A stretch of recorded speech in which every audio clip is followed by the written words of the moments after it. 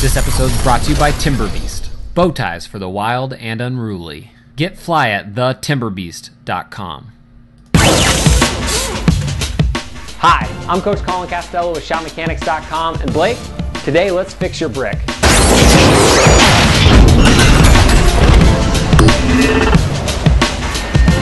So we all know Blake Griffin from those high flying dunks, but he does struggle from the free throw line. But the good news is it's a pretty easy fix. So today we're going to talk a little bit about Blake Griffin's shooting mechanics and how maybe just a few tweaks here and there might really, really up his percentage in the next year.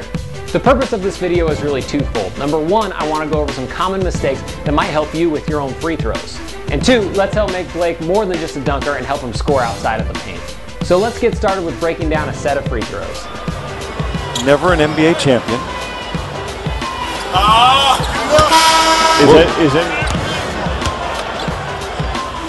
And I loved him. I loved Tracy when he was younger. And Gee whiz. Blake just shot two, two, two free throws, a foot short, both of them. I've only seen it happen once before. So, the first thing I want to talk about is how high above his head Blake puts the ball before he shoots a free throw. Check out this clip of Blake warming up before a game. Notice how the ball is directly above his head, causing the ball's trajectory to be much flatter than it would otherwise. It almost causes the ball to turn into more of a throw than a shot, allowing for very little touch. Most of the great shooters in the game keep the ball in front of their face for better touch and better arc on their ball. When shooters keep the ball in front of their face, it's more of a shot rather than a throw at the hoop, giving you that optimal arc. Shooting with the ball in front of your face also makes it a quicker jumper because it doesn't have to go backwards before it goes forwards. You'll notice that most everybody with a really quick jump shot keeps the ball in front of their face.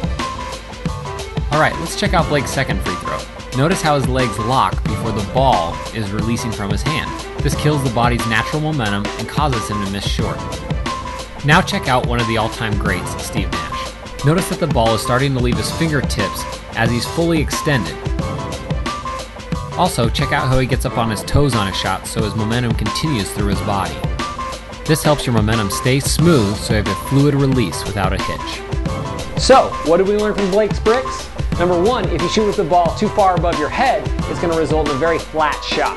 And two, if you lock your knees before you shoot, it's going to result in you missing short most of the time. So what can you do to help Blake Griffin?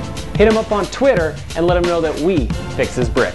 Also, if you have any questions, feel free to leave them in the comment section down below and we'll try to get back to you as quick as we possibly can. Also, feel free to show us a little love with either a subscription or telling a friend about our videos. You can also support us by buying a custom sneaker art that helps support our channel and our website. You choose the design and the colors and we'll send it straight to you for your own custom piece of artwork. And don't forget to check out our other videos on our website, shotmechanics.com. Again, I'm Coach Collin Castellaw, and thanks for watching Fix Your Brick.